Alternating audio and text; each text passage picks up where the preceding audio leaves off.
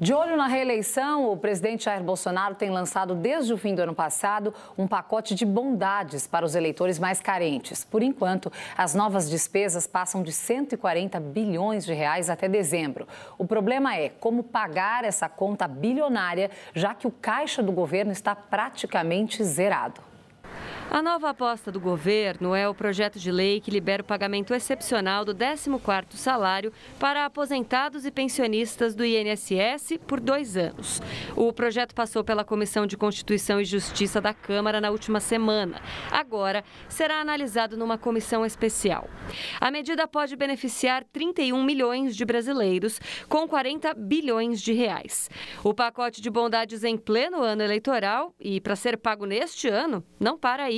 O Auxílio Brasil, que substituiu o Bolsa Família, teve seu valor elevado de 35 bilhões para mais de 90 bilhões de reais. Já o saque extraordinário de até mil reais do Fundo de Garantia tem previsão de despesa de 30 bilhões de reais. E teve ainda a redução de 35% do IPI, o imposto sobre produtos industrializados, para diversos produtos, com queda de 15 bilhões de reais na arrecadação. O governo também decidiu trazer de volta o Vale Gás. São mais de 280 milhões de reais. O total das novas despesas passa de 140 bilhões de reais.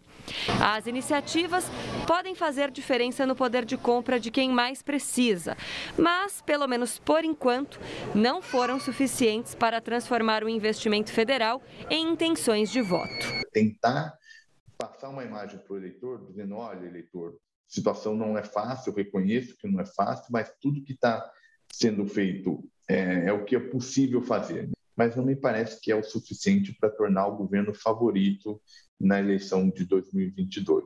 A estratégia de tentar conquistar a simpatia do eleitor pelo bolso é antiga, mas além de não garantir um resultado favorável nas urnas, ainda pode deixar uma herança para lá de negativa para a próxima gestão, com um rombo bilionário no orçamento.